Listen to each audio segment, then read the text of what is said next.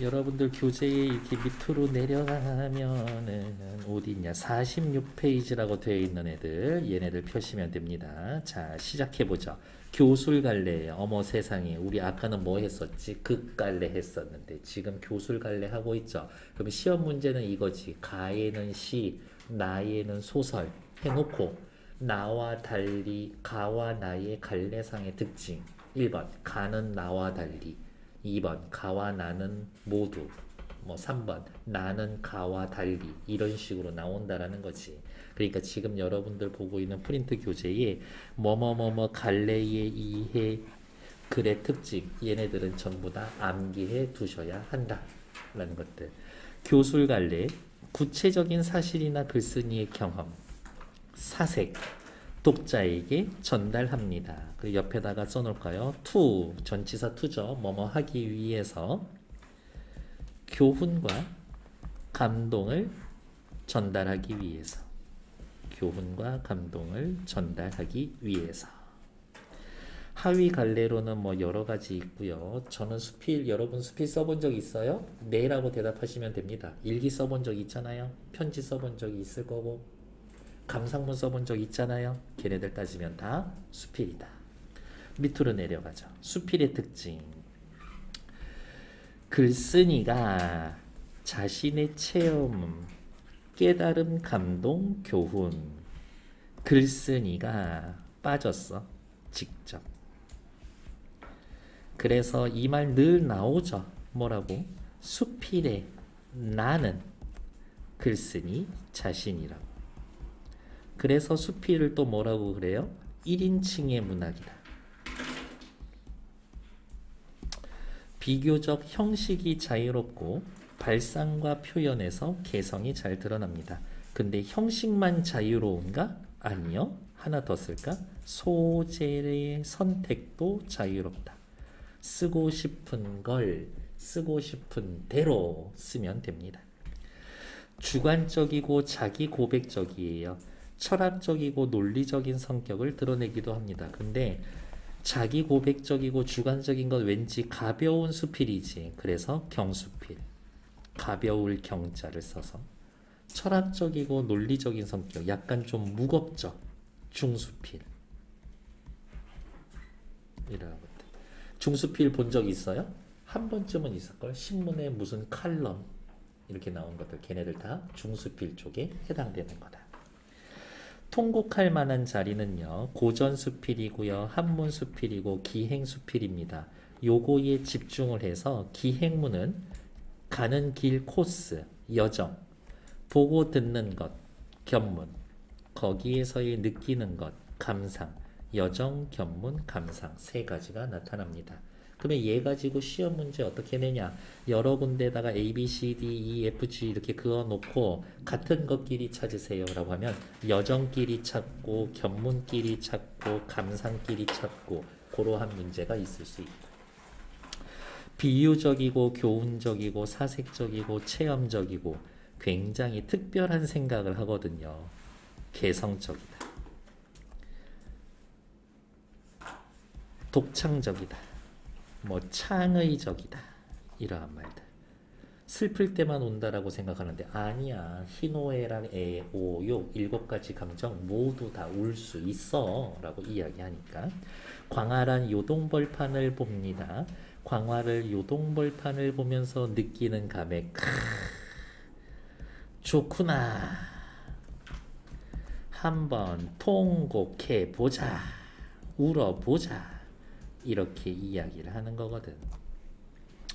일반적인 통념을 깨뜨리는 참신한 발상. 문답에 의한 구성 방식. 누구? 글쓴이 나와 정진사라고 하는 사람 사이의 대화. 문답.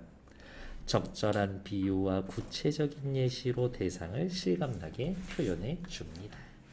밑으로 내려오죠. 정진사 일반인 보통은 질문하고요. 작가 박지원은 그 질문에 대답해 주지.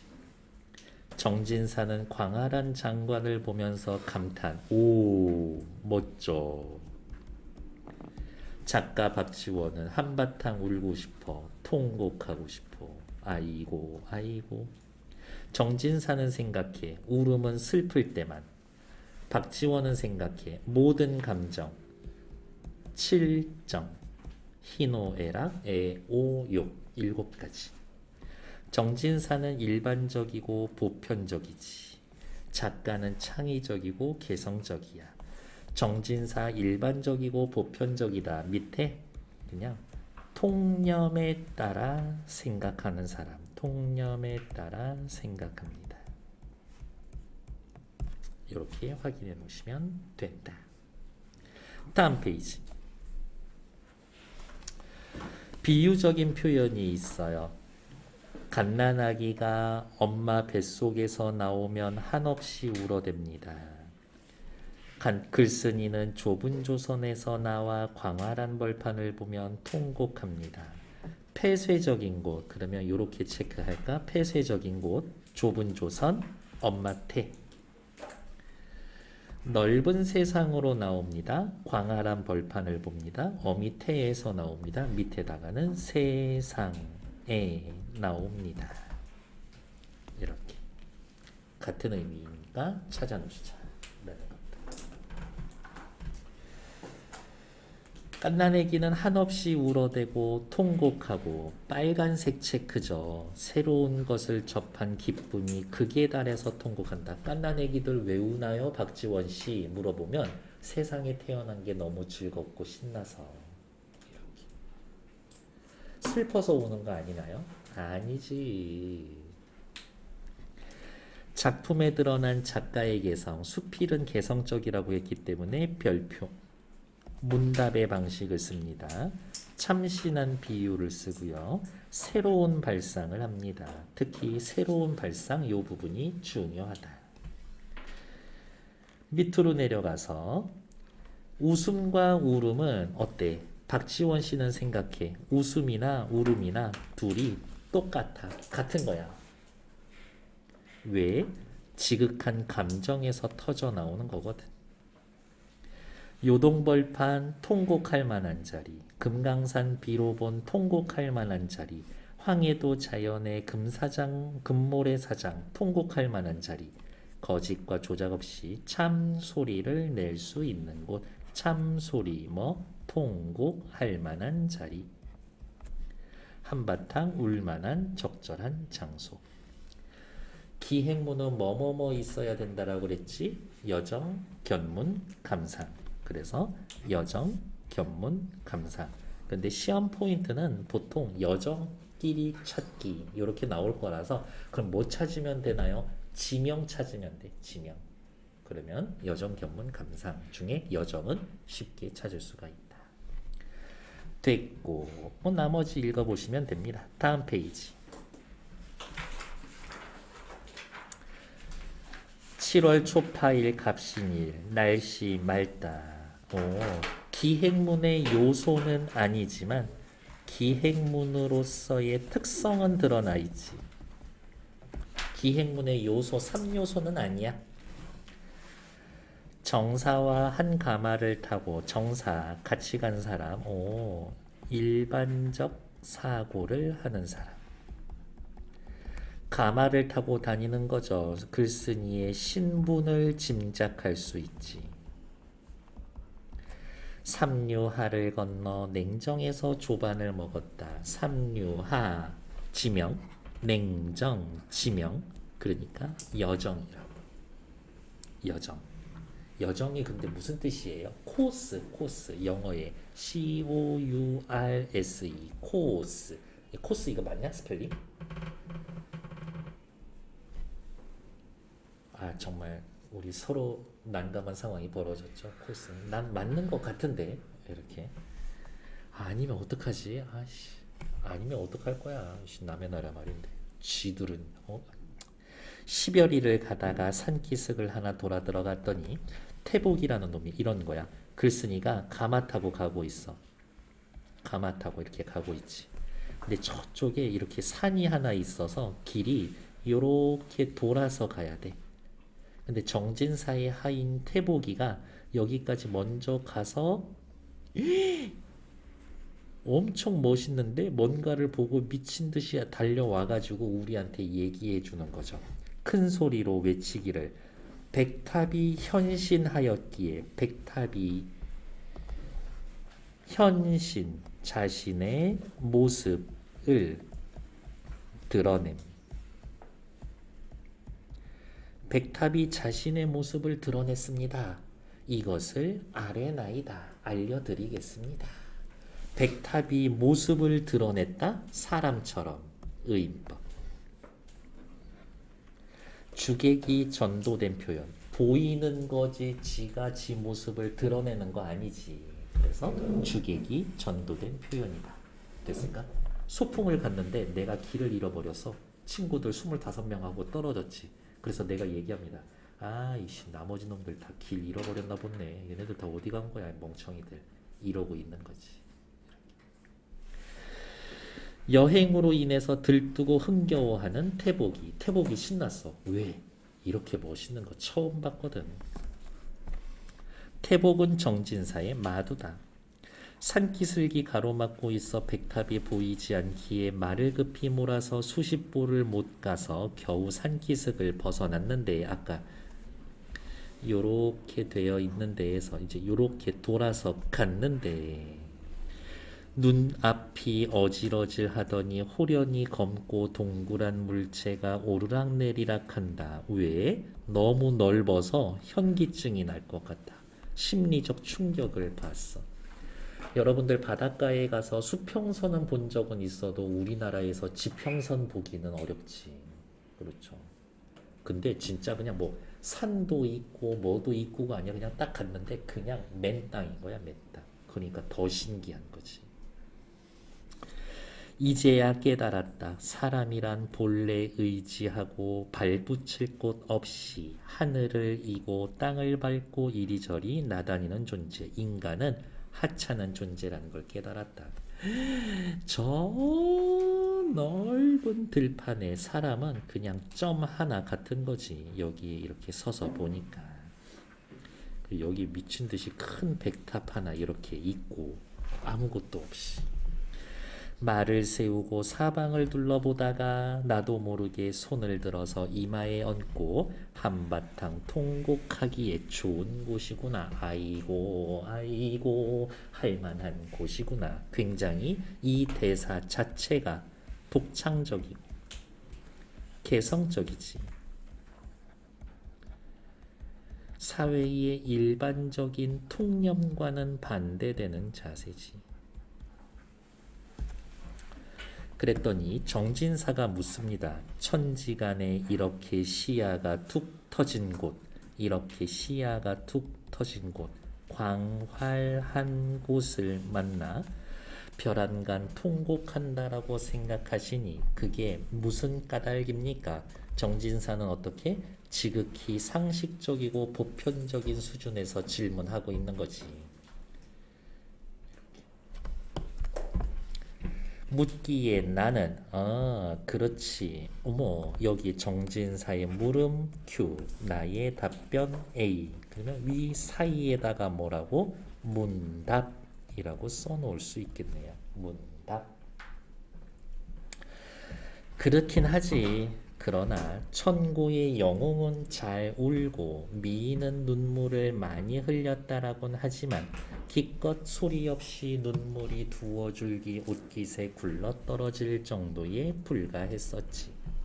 그 울음소리가 천지 사이에 울려 퍼지고 가득 차서 악기에서 나온다라는 소리는 들어본지를 못했어. 영웅, 미인, 울기는 하나, 울기는 했으나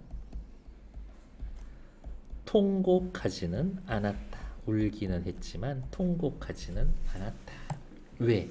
진짜 통곡할 만한 자리를 얻지 못해서 사람들은 칠정 이제 그냥 평생 살면서 써먹을 단어니까 쓸게요. 히, 노, 에, 라, 에, 오, 육 기쁨 분노 슬픔 즐거움, 사랑, 증오, 미움, 욕망.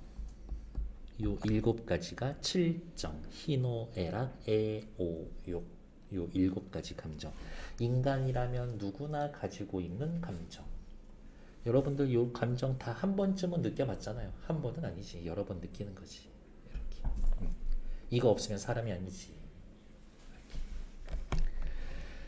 자, 이제 색깔 좀 구분을 할게요. 보통 사람들은 슬픔만 울음을 유발한다 라고 알고 박지원 씨의 생각은 칠정이 모두 울음을 자아내는 줄은 모른다. 어, 여기 칠정이 모두 울음을 자아낸다. 여기까지. 요거는 박지원 씨. 박지원 씨 생각 전부 다예요. 귀찮아 저기 지저분해져도 다 밑줄 글 거예요.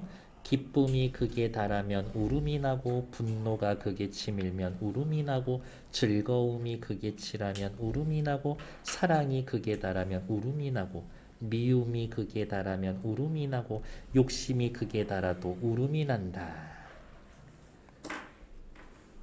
말 엄청 어렵지만 칠정 모두 울음을 만든다. 이렇게.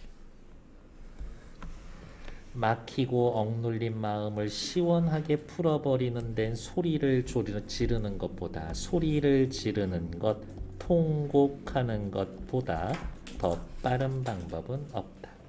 즉, 통곡하면 마음을 시원하게 풀어낼 수 있다.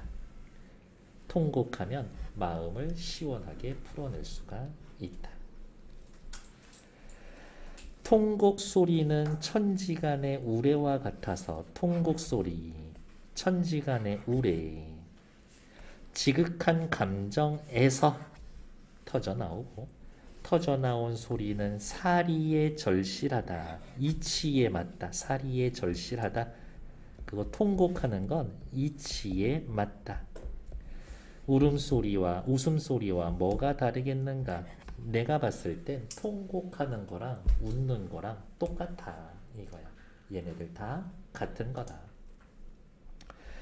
사람들이 태어나서 사정이나 형편이 이런 지극한 경험을 겪어보지 못하고 자 일반 사람은 요 색깔이었죠? 일반 사람들은 저 색깔이었어. 칠정을 교묘하게 배치하여 슬픔에서 울음이 나온다고 짝을 맞추어 놨다. 그래서 초상이 나면 억지로 아이고 하는 소리를 낸다. 일반인들은. 보통 사람들은.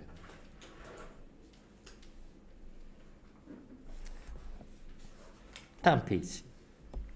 그러니까 아 밑줄 그어놓고 같은 태도 찾기 이런 거 하려고 색깔 칠하고 있는 것 뿐이에요.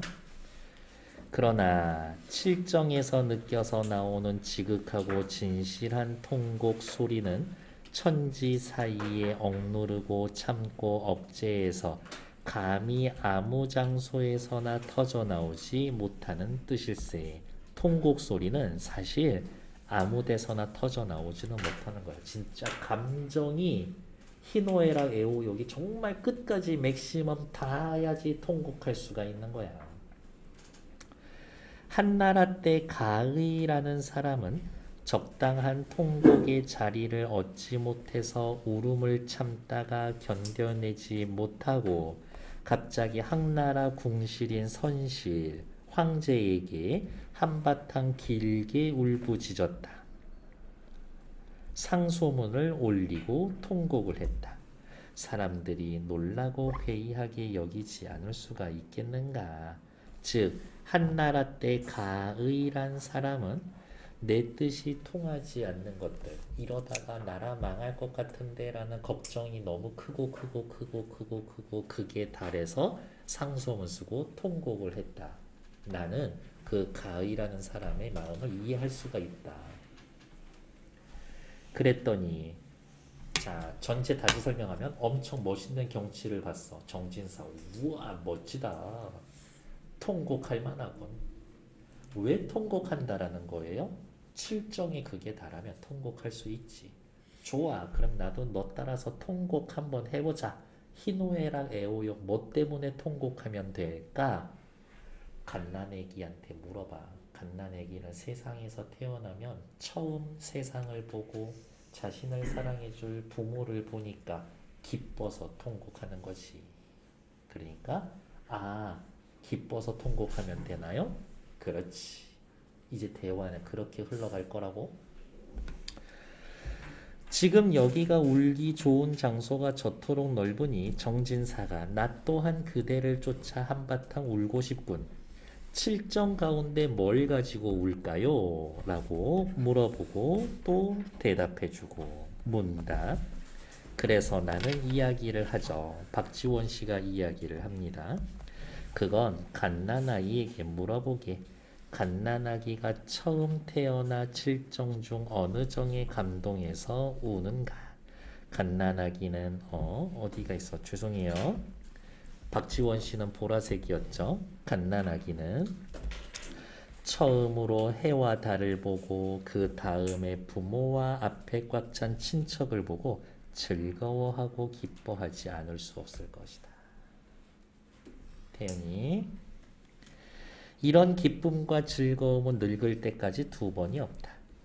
슬프거나 화낼 이치가 없고 마땅히 즐거워하고 웃어야 할 것이 아닌가.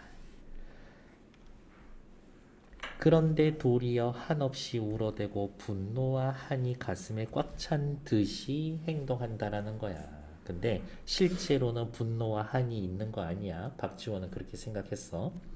이를 두고 일반인들은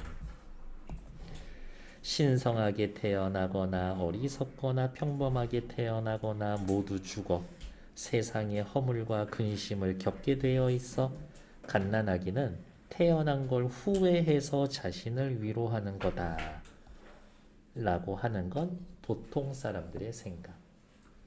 어차피 나 죽을 건데 왜 태어났어? 아 슬퍼서 운다 이거는 보통 사람들의 생각. 그건 갓난아이의 본 마음을 참으로 이해하지 못하는 것일 때. 그러면 갓난아이의 본 마음은 뭔데? 즐거움, 기쁨. 즐거움 자 이제 비유적인 표현이에요 어머니 뱃속에 있을 때 캄캄하고 막히고 좁은 곳에서 웅크리고 부대끼다가 갑자기 넓은 곳으로 빠져나와 손과 발을 펴서 기지개를 켜고 마음과 생각이 탁 트이니 어찌 참소리를 질러 억눌렀던 정을 다 크게 씻어내지 않을 수 있겠는가. 그러므로 거짓과 조작이 없는 참 소리를 응당 받는다면 얘는 다른 색깔로 칠할게요. 지금 박지원 선생은 어디에서 울만하다고 하고 있어? 요동벌판에서 울만하다고 하고 있어. 그러면 또 울만한 데 있나? 추천해 줄게. 금강산 비로봉 가면 통곡할 만해. 멋있어. 황해도 장현의 금모래사장 거기 가도 통곡할 만해. 이거지. 그럼 옆에다가 이렇게 써야 되겠지. 아, 비슷해. 어디랑? 요동 벌판이랑.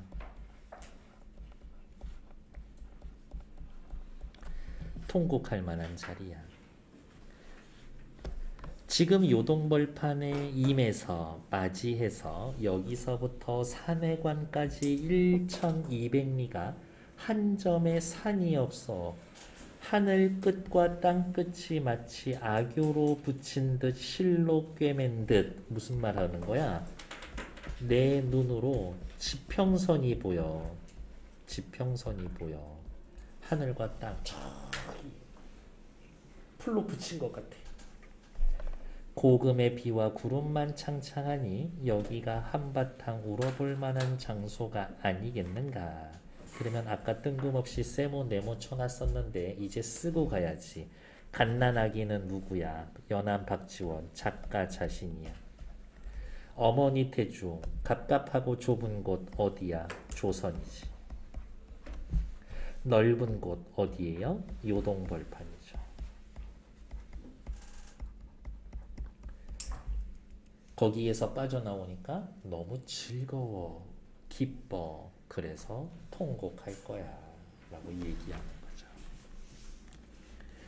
한낮에는 매우 더웠다. 말을 달려 여기 봐. 고려총 아미장 지나 길을 나섰다. 이건 여정이지. 옛 요동으로 들어갔다. 요동. 여기도 여정이죠.